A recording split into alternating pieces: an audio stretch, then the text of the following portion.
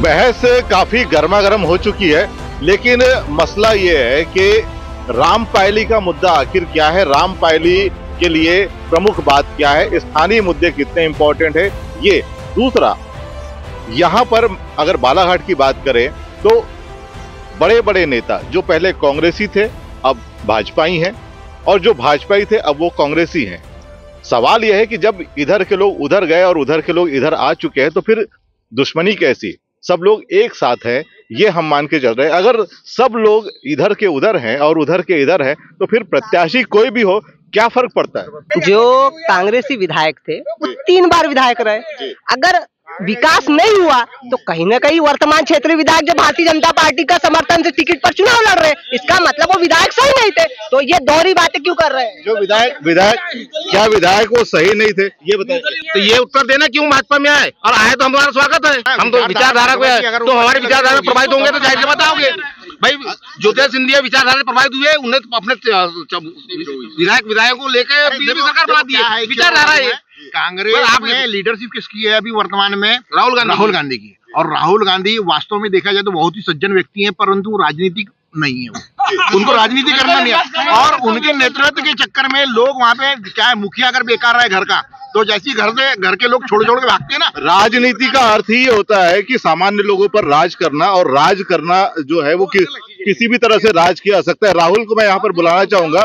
स्थानीय मुद्दे को लेकर राहुल से मैं यहाँ रिक्वेस्ट करता हूँ कि वो यहाँ पर स्थानीय मुद्दे कौन से प्रमुख हैं, इस पर बात करें। साथ ही यहाँ पर प्रत्याशी जो इस वक्त तीनों चारों पार्टियों बहुत कुछ निर्दलीय भी हैं और कुछ दूसरे पार्टियों के भी है। कांग्रेस, भाजपा के साथ साथ बसपा भी यहाँ पर है। तो ऐसी स्थिति में कौन से जो प्रत्याशी हैं, वो कितने लोकप्रिय हैं और किस वजह से हैं?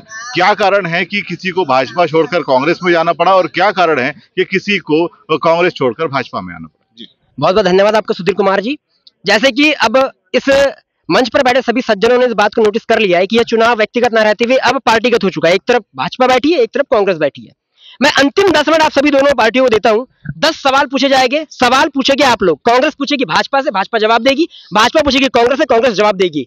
पहला सवाल कांग्रेस पार्टी से बोलिए सर पहला सवाल। एक सवाल नहीं मेरे अनेक सवाल है कांग्रेस पार्टी से। अच्छा मेरे को ये बताइए पटवारी घोटाला जो हुआ उसका रिज़ल्ट मामा ने बोले थे पंद्रह दिनों में आ जाएगा। काफ़ी महीने बीत चुके हैं सत्रह तारीख को चुनाव है दो तारीख को इनका रिज़ल्ट है। इनका रिज़ल्ट आप बीस दिन के लिए रोक के दिखा दो। इनके क्या हालत हो जाएँगी? इतने लोगों के पटवारी घोटाला हुआ आचार संहिता लग गई रिज़ल्ट आया नहीं। क्या कहना चाहिए भाजपा? न्यायिक आयोग बनाया गया था और उसमें जाँच चल रही थी। ज़ाहिर सी बात है। कांग्रेस ने कांग्रेस ने कांग्रेस ने पटवारी मामले को लेकर के आरोप भाजपा ने जवाब दिया है कि मामला मामला विचाराधीन है। कोर्ट ने कोर्ट ने दोषियों सिद्ध कर जिसे ये लोग घोटाला बोल रहे हैं घोटाला नहीं है। वो त्रुटि है। भाई दिवे अगर हमारे को इलेक्ट्रिक बिल पास हो पाँच हज़ार लिख के आ गया तो मतलब इलेक्ट्रिक बिल में घोटाला नहीं होता वो। वो त्रुटि है। तीन क्वेश्चन गलत आ जा रहा है त्रुटि है न कि घोटाला है। घोटाला का मतलब होता है पैसों का लेन देन होना। अब पेपर का पेपर का गलत जाए त्रुटि माना जाता है। आपको त्रुटि और घोटाले का अंतर ही नहीं मालूम है। सवाल है भाजपा के पास? सवाल ये है कि कमलनाथ जी ने इतनी घोषणा कर चुके हैं। अब ये इतने घोषणा कर दी है कि महँगाई भी कम करेंगे और फलाना ठिकाना दुनिया भर का सब सारी चीज़ें में कम कम कम कम। तो ये पैसा लाएँगे कहाँ से? पहली बात ये।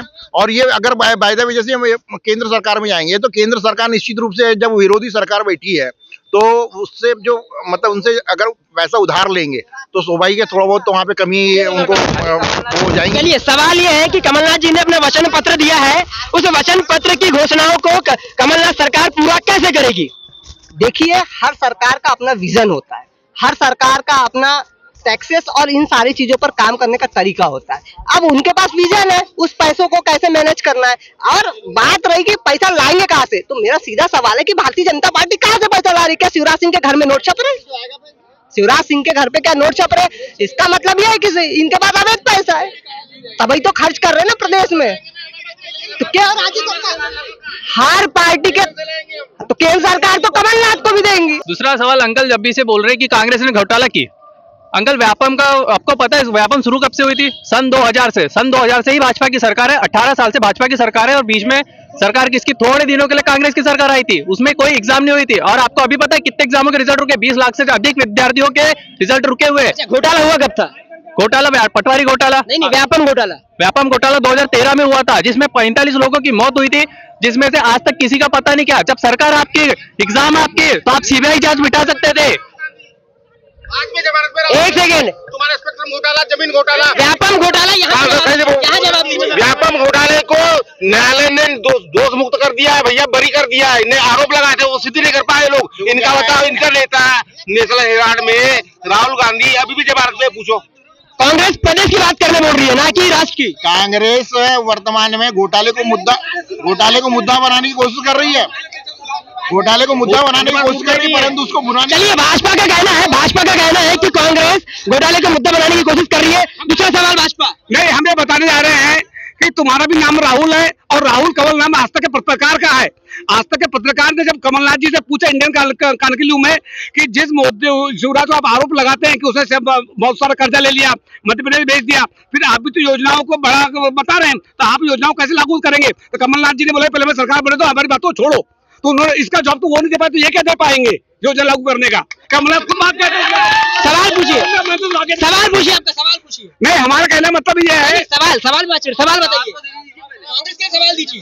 कांग्रेस के सवाल ये है कि पेंशन योजना जब छत्तीसगढ़ में लागू नहीं हुई है अभी तक राजस्थान में लागू नहीं हुई है तो घोषणा कर दिए थे तो यहाँ कैसे लागू करेंगे चलिए ओल्ड पेंशन योजना जो दो राज्यों में घोषणा कर दी गई पर लागू नहीं हुई तो यहाँ पे कैसे लागू होगी?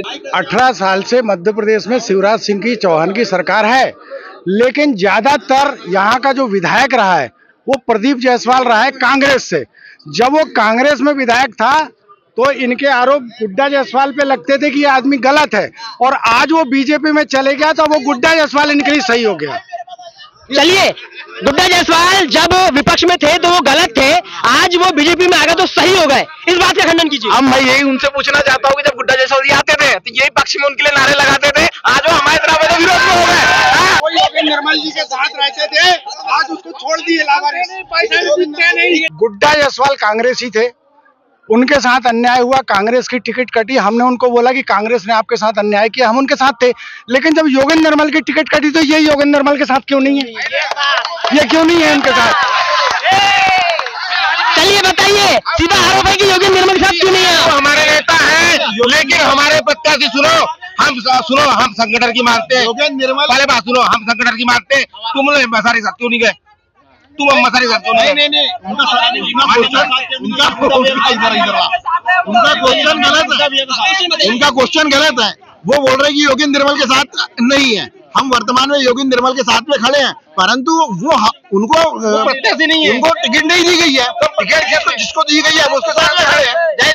निश्चित है कि भाजपा का झंडा आपका बड़ा नेता है। और चलिए एक सवाल एक सवाल एक सवाल मैं पूछ लेता हूँ सवाल ये है कांग्रेस पार्टी के लोगों का कहना है कि पिछले तीन बार के चार बार के विधायक प्रदीप जायसवाल जी उनके रहते क्षेत्र में अवैध उत्खनन बहुत जोरों से चल रहा है। इसके ऊपर में उनका आज तक के सिंगल स्टैंड क्यों नहीं आया? जवाब दीजिए। मैं पूछना चाहता हूँ ये जितने लोग सवाल कर रहे हैं इनने कभी खड़े होकर इस चीज़ के लिए नारे लगाए क्या? कभी इस चीज़ के लिए विरोध किए क्या? विधायक के पास गए क्या? जब सिंगल सिंगल सिंगल स्टैंड इसीलिए कि यहाँ पे जहाँ जहाँ भी खनन हो रहा है वहाँ वहाँ के गाँव वालों के पास में आप जाइए उनको किसी को कोई ऑब्जेक्शन नहीं है। पर्यावरण की किसी को कोई ऑब्जेक्शन नहीं है सबको वहाँ पे रोज़गार मिला अभी रोज़गार की बात कर रहे थे। वहाँ पे उनको बकायदा रोज़गार मिल रहा है। तुम लोग पलायन करते हैं। और इसके अलावा इसके अलावा राजस्व की प्राप्ति हो रही है। कैलकुलेशन ये है कि अगर भाजपा समस्याओं का हल नहीं कर सकती तो फिर कोई नहीं कर सकता। उन्होंने आरोप लगाया है कि आपने टिकट कटने के बाद में योगी निर्मल जी को क्यों छोड़ दिया? योगेंद्र निर्मल जी को छोड़े नहीं योगेंद्र निर्मल जी हमारे सर्वोपरि नेता है और टिकट किसी एक को देंगे। योगे अरे योगेंद्र निर्मल जी हमारे सर्वोपरि नेता है। वो आज भी उसके जैसे नहीं कि जैसे इनने मसानी को दे दिए तो मसानी को छोड़ करके ये कहाँ चले गए? गुड्डा के साथ चले गए। निर्दलीय में चले गए। दल ये बदलते हैं। हमारे दल हम नहीं बदल। योगेंद्र निर्मल है आज वो खड़े नहीं हुए। सम्मान के साथ ऊँचे हैं और अभी भी हैं और रहेंगे। गुड्डा जैसा को एक टिकट दी है हमने। कोई बात ही नहीं उसमें। उनको छोड़ेगा योगेंद्र निर्मल चलिए। भाजपा सरकार की चुनाव से पहले की गई चुनावी घोषणाएँ। रेवड़ियों के सामने कमलनाथ सरकार किस तरीके से अपना पंजा मध्य प्रदेश में काबिज कर पाएँगी बताइए। देखो शिवराज सिंह चौहान तो लफास। अरे दुनिया भर सिवाय घोषणा करना है। घोषणा करना है उनका काम है। लेकिन कमलनाथ जी ने जिन चीज़ों पे जो घोषणा किया है उन घोषणाओं पर उन्होंने बहुत गहरा चिंतन किया है और उसको पूरा करने का वादा है उनका तभी उनने ये बातें की घोषणा किया है। लफासी वाली बात। चलिए शिवराज सिंह चौहान जी को लफास व्यक्ति कह रहे हैं और शिवराज सिंह चौहान जी को इन्होंने आरोप लगाया है कि शिवराज सिंह चौहान बिल्कुल लफास है। वो चुनाव के पहले ही उनको बहनों की याद आती है बाकियों की याद आती है और वो योजनाओं को लागू करते हैं। तो इस बात से खंडन कैसे करें? क्या लाडली बहना का पैसा नहीं मिल रहा है। एक मिनट एक मिनट एक मिनट लाडली बहना का पैसा नहीं मिल रहा है क्या? मिल रहा है कि नहीं मिल रहा है? अठारह साल से नहीं मिला अभी क्यों मिल? रहा है कि मिल रहा है? पेंशन योजना मिल रही कि मिल रही संबल योजना मिल रही कि मिल रही किसानों को पैसा आ रहा है कि नहीं आ रहा है? और सबसे बड़ी बात सुनो। तुम्हारी लाडली बहना कहा गई थी अठारह साल से? उनकी सरकार आ रही है इसे दो महीने से दे रहे हो। हैं? दो महीने से अभी तक कहा गई थी? लाडली बहना। बताइए जवाब दीजिए जवाब। मैं बोलता हूँ हमारी योजना थी हमको सरकार बनी कि नहीं बनी? हमारी हमारी सरकार चल रही थी कि चल रही थी बताइए। और पंद्रह अगस्त को शिवराज जी ने जो घोषणा किए थे यहाँ के लिए हेडके बार जी के लिए उसके लिए सत्रह करोड़ रुपए मिला पुलिया का बाईस करोड़ रुपए मिला फिर कैसे बोल दोगे आप? पैसा तो मिल रहा है। जो जो घोषणा की उसको फलीभूत कर रहे हैं हाँ भैया बोलिए क्या क्या कहना चाह रहे बताइए बताइए। एजुकेशन के सिस्टम में बात करें तो आप में से कोई एक मेरे को हमारे शिक्षा मंत्री का नाम बता दे तो बहुत अच्छा होगा। हमारे शिक्षा मंत्री का नाम बता दे कोई एक। शिक्षा मंत्री का नाम पूछे उन्होंने। शिक्षा मंत्री मध्य प्रदेश के शिक्षा मंत्री का नाम पूछे उन्होंने।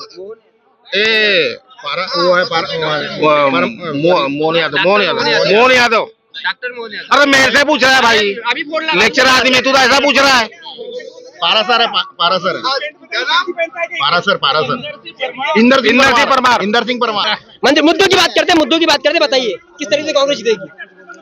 कांग्रेस? किस तरीके से जीतेगी? कांग्रेस की लहर है। जीते ही रही है। अठारह साल से शिवराज सिंह चौहान के चेहरे को देख देख के लोग थक गए और उसकी लफासी देख स्थानीय बात करते हैं वर्तमान में भाजपा में चले गए विधायक गुड्डा जायसवाल और कांग्रेस से विक्की पटेल। विक्की पटेल स्वयं इस बात को बोल चुके हैं कि कार्यकर्ता वर्सेस नेता का चुनाव है। तो कंपेटिबिलिटी में देखा जाए तो विक्की पटेल अच्छे है कि गुड्डा जायसवाल? विक्की पटेल अच्छा है।